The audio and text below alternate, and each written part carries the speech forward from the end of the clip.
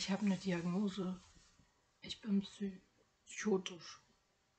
Also psychotisch. Ja, psychotisch. Ich habe schizoaffektive Psychosen aus dem schizophrenen Formenkreis. Und ich sage euch Leute, das ist total uncool, das zu haben. Also Depressionen sind mittlerweile im Vogue, aber Psychosen überhaupt nicht. Das ist gesellschaftlich gesehen schlimmer als Krebs. Also man stirbt nicht daran. Sorry, aber so sehe ich das. Aber Psychosen, das will niemand. Das will niemand wissen, das will niemand haben. Darüber spricht niemand. Und ich habe überall Hausverbot. Also das Einzige, was den Leuten zu mir einfällt, ist, mich überall rauszuschmeißen. Und jetzt sitze ich halt hier alleine zu Hause vor meinem Computer. Und ich spiele gerne Gitarre. Und ich singe gerne. Und ich habe Psychose. Und komischerweise, der Einzige, der irgendwie mit mir abhängt, ist irgendwie, hört sich jetzt schräg an, aber der Einzige, der irgendwie online noch mit mir abhängt, ist Farin Urlaub, der Gitarrist von den Ärzten.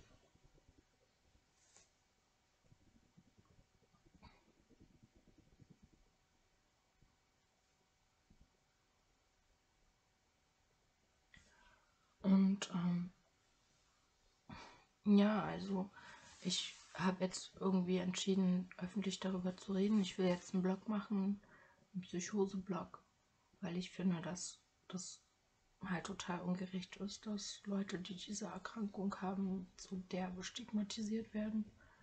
Also irgendwie, dass jemand sagt, okay, sie ist krank oder so.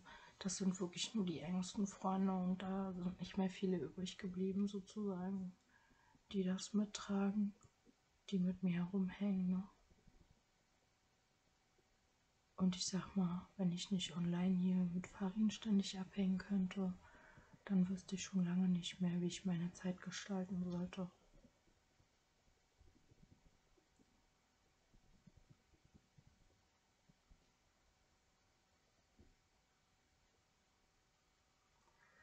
Also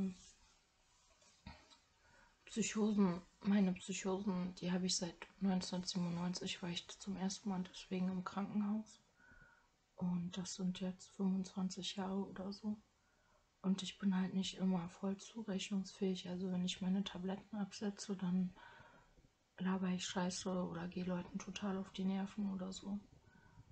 Und was eigentlich allen dazu einfällt, auch den Leuten aus der linken Szene, ist mich einfach nur rauszuschmeißen.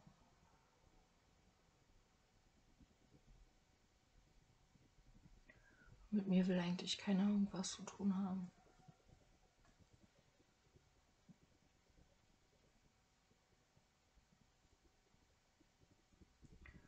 Und ich meine, über Depressionen wird da mittlerweile so ein bisschen gesprochen irgendwie oder ADHS oder so. Das ist ja irgendwie schon cool oder gehört schon zum guten Ton, aber wenn man so richtig psychisch krank ist, so wie ich, das will eigentlich niemand.